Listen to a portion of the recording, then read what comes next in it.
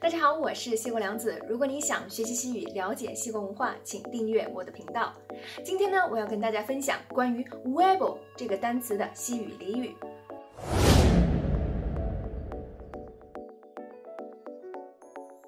大家知道 huevo 这个单词，它的意思是鸡蛋的意思。西班牙人使用含有 huevo 这个俚语的使用频率，哈，比我们之前学过的关于 leche 还有 chino 的这些西语俚语，它的使用频率都要高很多。所以本期内容非常重要。今天呢，我主要教大家关于 huevo 的五个西语俚语。好，我们首先来看它的第一种使用情况。那它的第一种使用情况呢，我们是和 gostar 这个动词连在一起的，gostar un huevo，gostar un huevo，它的意思就是花费很多金钱或者呢很多精力在某件事情上。我们来看一下例句：Este coche me cuesta un huevo，Este coche me cuesta un huevo，这辆车呢超级贵。OK，Este coche 这辆车，我们看到 cuesta。它呢是 gostar 花费这个动词的第三人称单数变位，所以我们看到它的变位呢是非规则的，我们要把 o 变成 ua。同样的，关于这个呃非规则变位哈，把这个 o 变成 ua 的动词还有很多。我们最最常用的，比方说那个能够的那个动词 poder，对吧？它也是这种变位，把 o 变成 ua 这种非规则变位。还有呢就是 contar，对吧？告诉或者数数的。巩大这个动词，它也是非规则变位。它变位的时候呢，也要把这个 o 变成 ua，对吧？所以呢，这几类动词它们的非规则变位都是同一类的。好，este coche cuesta 花费，花费谁的呢？花费我，对吧？este coche me cuesta un huevo，就是这辆车超级贵，是在金钱上它的花费很大。再来看第二个例句，los pisos de Madrid y Barcelona cuestan un huevo. Los pisos de Madrid y Barcelona cuestan un huevo. 马德里和巴塞罗那的那个公寓呢都非常贵。好，我们来看到，首先这句话的主语呢是 los pisos，对吧？公寓哪儿的公寓呢？de Barcelona y Madrid。 就是马德里和巴塞罗那的这个公寓，对吧？一起作为这个嗯主语，所以呢它是复数 los pisos，它是复数的形式，所以呢它的动词变位呢我们也要使用第三人称复数形式 cuestan，对吧？cuestan 花费的 un huevo，cuestan un huevo 花费的很多，也就是金钱上非常贵的意思。好，我们再来看 costar un huevo，指能力上或者精力上呃花费很大这样一个意思的例子。Aprender un idioma cuesta un huevo. Aprender un idioma cuesta un huevo. 学习一门语言呢，很耗功夫。大家如果在学西班牙语的过程当中，如果有偶尔会有这种感受，对吧？因为确实西班牙语的语法呢有点难，特别是你学到 B 级的时候，也就是中级的时候，它的语法呢会越来越难。啊，那这个时候呢，你就会说啊，Aprender español cuesta un huevo。学习西班牙语真是一门很耗精力和功夫的呃一件事情，对吧？那在这句话当中呢，aprender un idioma，学习一门语言，它就是主语，OK？所以呢，我们用那个呃 cuesta 它的第三人称单数 cuesta 是吧？花费 un huevo，让你很耗功夫。aprender un idioma cuesta un huevo。好，我们再来看第二个例句，aprobar el examen de conducir。Cuesta un huevo。这句话的主语呢，也就是 aprobar examen de conducir，就是通过驾照考试。examen de conducir，conducir 它是呃开车的意思，对吧？examen de conducir 就是驾照考试。aprobar 它的意思就是通过的意思，所以通过这门考试呢很难。Cuesta un huevo。好，这时候我们要学习关于 cuesta un huevo，它是指。呃，金钱上或者能力上、精力上花销很大这样一个意思，它的使用你学会了吗？好，我们再来看它的第二个意思，por huevos，por huevos。OK，它的意思呢是必须的意思，没有选择的意思。大家记住，在这个地方呢，要用 huevo 它的复数形式是 por huevos。OK，我们来看它的第一个例句，No hay otro camino。Hay que pasar por aquí por huevos. No hay otro camino. Hay que pasar por aquí por huevos. 那没有其他路了，必须经过这儿。好，我们来看到这句话，No hay otro camino。camino 它是路的意思，OK，嗯，它相比于 carretera，它是那种小路。carretera 一般就是那种双向行驶的这种比较宽敞的路，我们叫 carretera 公路，对吧？那 camino 一般就是呃小路。OK，no hay otro camino，没有其他路了。hay que 就是必须，对吧？pasar 经过 por aquí 就是必须经过这儿。por huevos。好，我们再来看它的第二个例句：Tengo que aprobar por huevos esta vez。Tengo que aprobar por huevos esta vez。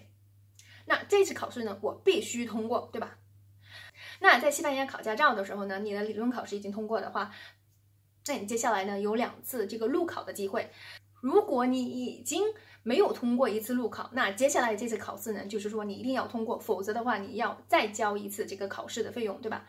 所以呢，你可以说 Tengo que aprobar por huevos esta vez。那我这次呢必须通过考试，对吧？好，这是我们学习的关于 huevo 它的第二个意思。Por huevos，OK，它的意思是必须的意思。大家使用的时候一定要记住使用它的复数形式。好，接下来呢，我们再看到关于 huevo 或者 huevos 的它的第三种使用方法：poner los huevos sobre la mesa。poner los huevos sobre la mesa。OK，它的表面的意思呢，就是比方说 poner 它是放置，对吧？los huevos 鸡蛋。把那个鸡蛋呢放置放置在哪呢？sobre，sobre 它是在什么上面的意思？sobre la mesa 放在桌子上，也就是把鸡蛋放在桌子上。它的延伸的意思呢，就是亮剑，拿出你的胆量。我们来看一下例句：Cuando tienes problemas en el trabajo, tienes que poner los huevos sobre la mesa. Cuando tienes problemas en el trabajo, tienes que poner los huevos sobre la mesa. 那你工作上遇到问题的时候呢，你应该就是拿出胆量来面对，对吧？我们来看到这句话，cuando 是当什么什么的时候，tienes problemas，你有困难的时候，en el trabajo，在工作当中有困难的时候，tienes que，你必须 poner los huevos sobre la mesa，把鸡蛋放在桌子上亮剑，对吧？就是拿出你的胆量，勇敢的去面对这样一个问题。我们再来看它的第二个例句。Si no pones ya los huevos sobre la mesa, vas a sufrir más en esa relación. Si no pones ya los huevos sobre la mesa, vas a sufrir más en esa relación. 如果你再拿不出胆量来面对的话，那在这段关系当中呢，你将受到更多的伤害。比方说，在一段呃感情当中，如果说你你知道对方已经有第三者了，或者说呃 呃，或者说你已经不爱他了，那你还不果断的，就是中断这段感情的话，那你在这段感情当中，那你肯定会继续受到更多的伤害，包括对方也是一样，对吧？所以呢，这句话就是说，si no pones ya los huevos sobre la mesa，也就是说，如果你再不拿出你的胆量去勇敢的去面对这样一个事实的话，对吧？这个地方呢，ya 表示的是还不，就是立即表达它的及时性，de vas a sufrir。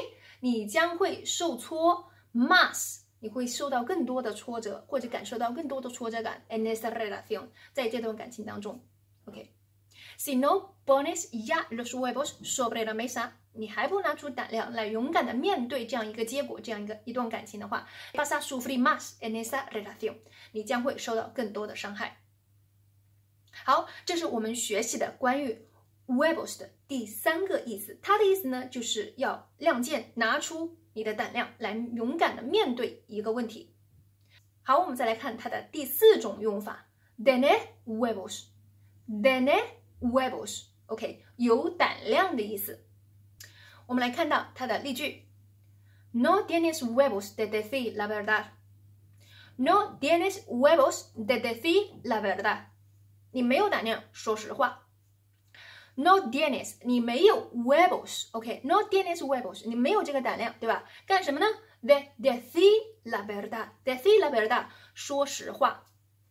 No tienes huevos de decir la verdad，OK？你没有胆量说实话。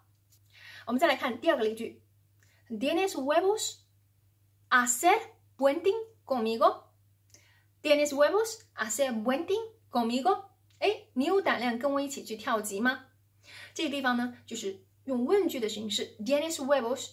你有胆量，对吧？Hacer p u e n t i n g 就是跳级、蹦极的意思。Conmigo 和我一起。Tienes huevos hacer puente conmigo？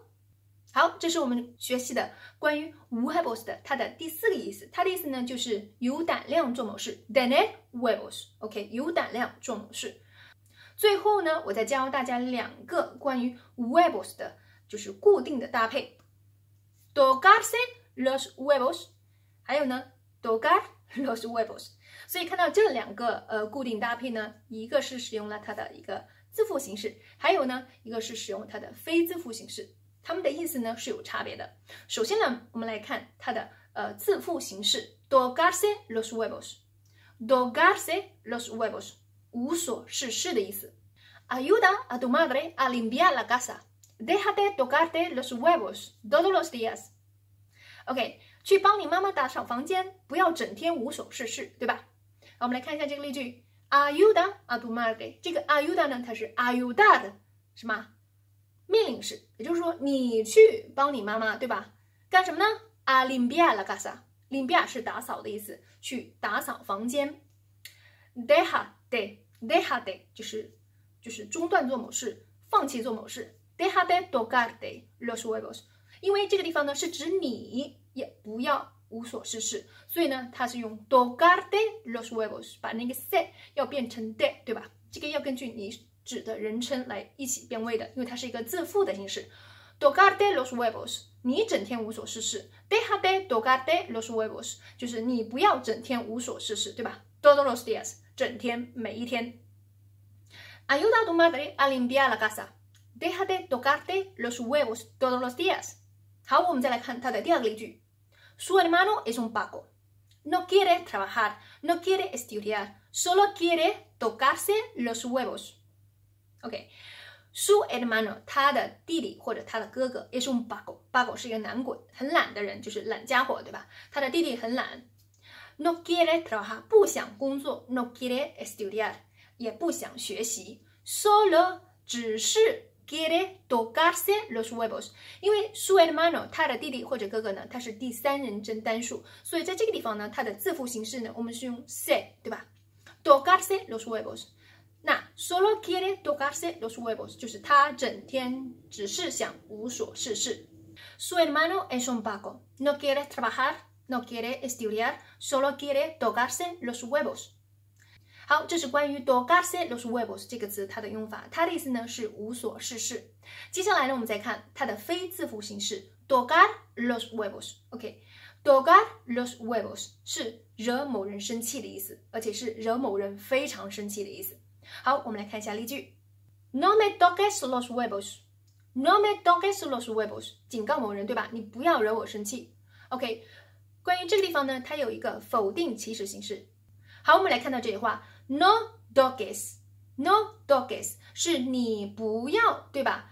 呃，惹我生气。所以呢，这个地方是否定祈使形式，也就是你不要做某事的意思。那看这个 dog 呢，它是 doga，它的否定祈使形式变位。实实际上呢，也是使用它的虚拟式哈。惹谁生气呢？惹我生气。所以呢是 no me doges，OK，你不要惹我生气。No me doges，。在这个地方大家记住，这个 me 呢不是。呃，那个 doga 它的自负形式的那个人称代词，而是什么宾语？它的宾语对吧？No me dogues los huevos，你不要惹我生气，记住。好，再来看第二个例句，Le ha tocado los huevos demasiado，Le ha tocado los huevos demasiado，哎，他被惹毛了。Le ha tocado los huevos demasiado。啊，tocado 通过它的变位呢，我们知道它的主语是什么？第三人称单数，对吧？所以呢，比方说张三，张三惹某人生气了。啊，tocado los huevos，惹谁生气了呢？Le，OK，Le 也是一个第三人称，所以呢，它指的是另外一个人。所以比方说李四，所以呢，这个地方我们就翻译成张三惹李四生气了，对吧？生气到什么程度呢？demasiado。Demasiado 就是太过了，对吧？demasiado 是很多的意思，以至于有点消极了，以至于有点过的意思。惹他太生气了，就是呃，我们可以翻译成他被惹毛了，对吧？Le ha tocado los huevos demasiado。好，这是我们学习的关于呃 huevos 的一个固定短语，tocar los huevos，它的意思呢就是惹某人生气。今天呢，我们主要学习了关于 huevo 鸡蛋这个单词它的西班牙语俚语。那呃，我们还学习了两个关于 huevo 它的固定短语。首先，我们来回顾一下今天我们所学过的它的意思。第一个是 costar un huevo，是吧？花费很多的意思，金钱上或者精力上，costar un huevo 就是花费的很多。它的第二个意思呢，就是 por huevos，por huevos 就是必须做某事，就是没得选。它的第三种用法呢，就是 poner los huevos sobre la mesa，哎，把鸡蛋放在桌子上，也就是什么，亮剑，拿出你的胆量。它的第四种用法就是 tener huevos，tener huevos，hacer algo，有胆量做某事，或者呢没有胆量做某事，no tener huevos，hacer algo，没有胆量做某事。最后呢，我们学习了两个关于 huevo 的它的固定短语。Tocarse los huevos，无所事事；tocar los huevos，惹某人生气。好了，这就是我们今天的主要内容，关于鸡蛋 huevo 它们的西语俚语，你学会了吗？